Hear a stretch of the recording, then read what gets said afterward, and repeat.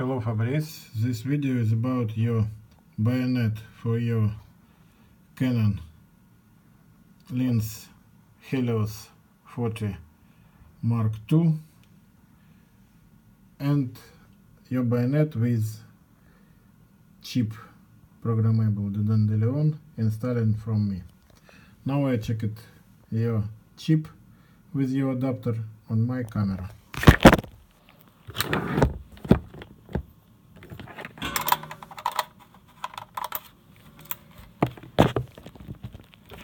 Look. I pre-programmed focal lenses 85 mm and aperture 2.4. Delay time to enter in programming mode is 1 second.